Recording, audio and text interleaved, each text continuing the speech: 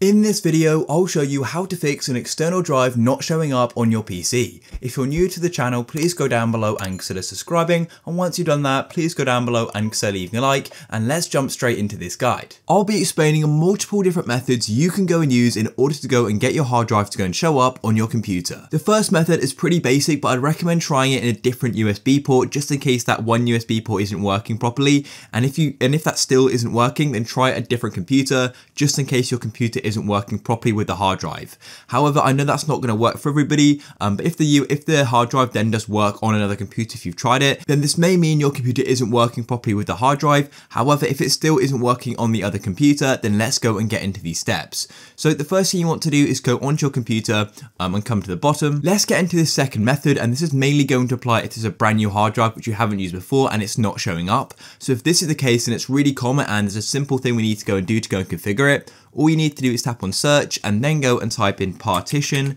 just like so, and you want to go and tap on create and format hard disk partitions, just like so. And when you open up disk management with a new hard drive plugged in, you're going to go and get a pop-up uh, saying initialize disk, and what you need to do is go and select the disk uh, and make sure it's ticked, and then go and select the GPT option, because the MBR option if you're creating a boot drive, but this is just an external drive, so GPT is the one you need. And the great thing about the disk management app is it's going to show you all your drives, even if they aren't showing in your File Explorer, they're going to show up here. And then what you need to do is come to the second part of the app and scroll down and go and look for your new hard drive. I don't currently have a new one, but if you do, go and find it and it's going to go and say unallocated. And this means that drive hasn't been allocated the space yet. So all you need to do is right click on this empty space inside of it. It's going to be like a white area like this. And then what you need to do is right click on the space and go and tap on new simple volume. And this will open up the new simple volume wizard. So go and press next. And what you'll need to do is go and choose the space you'd like to go and give the hard drive. What I'd recommend doing is just giving it uh, the max amount of space because you can create different partitions, but just give it the max amount of space.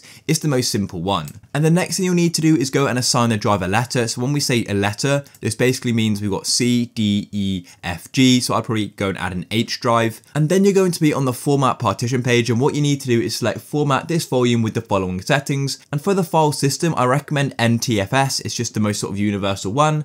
And then for the allocation unit size, just make that default. And then you can go and name the volume label anything you like. This is just a name. So yeah, name it anything you like. And then you can go and select perform a quick format just to make sure everything's in order. Then you can go and press next. And after you go and press next, uh, then you can just go and press finish and you've now gone and set up the drive. And your drive will then be appearing uh, in your file explorer um, in this place here. Now let's go and get into this next method and you'll need to go and open up the disk management app. So once again, you, if you haven't opened it up already, just go and search partition um, and then you can quickly go and get to it here. And then once you're in this app here, as I said previously, uh, the disk management app actually goes and shows you all of the drives you've um, got plugged into your computer. Even if they aren't showing in your file explorer, they're still going to appear there. And so then what you need to do is go and find the disk in the second half here. For example, if this Seagate drive wasn't appearing in my file explorer and this is the one which isn't showing for you as well, what you need to do is go and right click on it just like so. And then what we can do is go and format the disk.